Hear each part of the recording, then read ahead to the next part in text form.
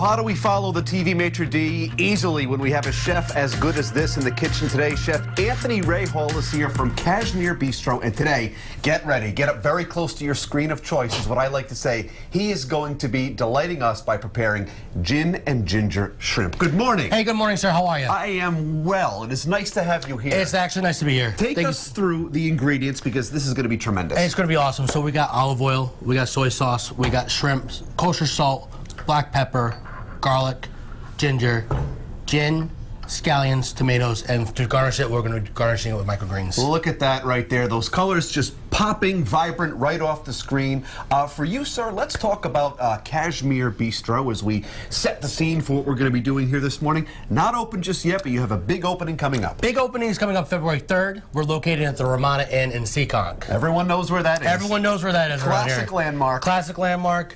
Old Johnson Wales Inn, so I hope everyone can come check us out February 3rd.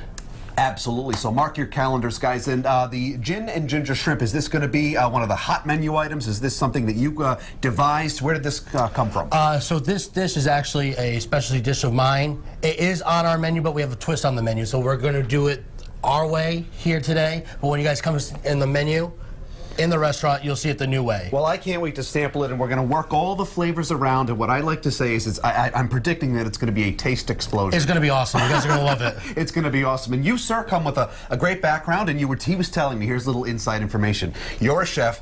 Your sisters are. My both my sisters are servers. Servers. I'm a host. We could open our own place. We could. How good does that sound? That sounds great. But we don't need our own. We don't place need it because we want people to check out Kashmir Bistro. This is the man, Chef Anthony Rahal. He'll be here all morning long. You don't want to miss the preparation of the gin and ginger shrimp. Back to you. We want to send things back into the kitchen. Right, Michaela, ready? take it away. Yeah, we are ready, Chef awesome. Anthony. Here we go. He's, he's ready for the toss right now. We're laughing because every time we're saying gin and ginger shrimp, I just have Snoop Dogg in the back of my head saying, eating that ginger shrimp.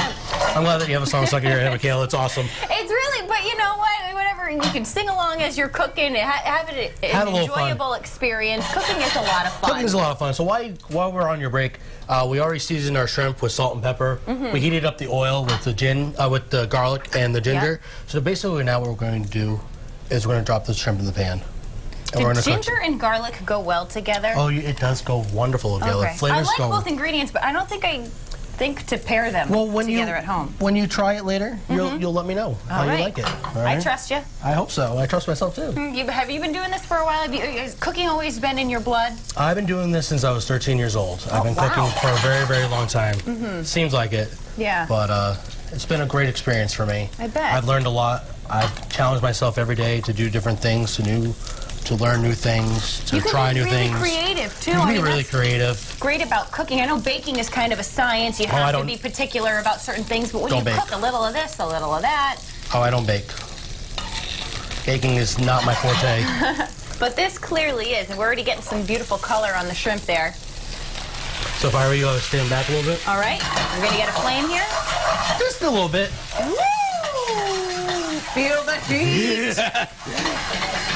So basically, you just want to cook that down. Okay. All right, you want to reduce that just a little bit. Mm-hmm. That's where you want to add your tomatoes, Smells great. your scallions, Really kicks up those flavors too once you add the tomatoes. your soy sauce. So because you added the soy sauce, an ingredient that has a lot of salt to it, you don't need to overly salt this. You don't want to overly salt it. Right. You can use low sodium soy sauce. Mm-hmm. I prefer to use regular soy sauce, but we have low sodium available as well. yeah. Just to You can always add more. you can can't always really add more. You really away, can't right? take it away because soy sauce is something that you really have to be very careful with because you don't want something really salty and But the whatnot. flavor of it is great. You're gonna you're gonna really love the flavor once we get it all ready to go. And look at that. The shrimp will pretty much tell you when it's done because it'll turn the, the appropriate color, which is nice. Correct. You're seeing it happen right before your eyes, so you know this is a dish that you can definitely achieve and make for yourself at home. We'll talk more about the restaurant and finish this dish when we come back.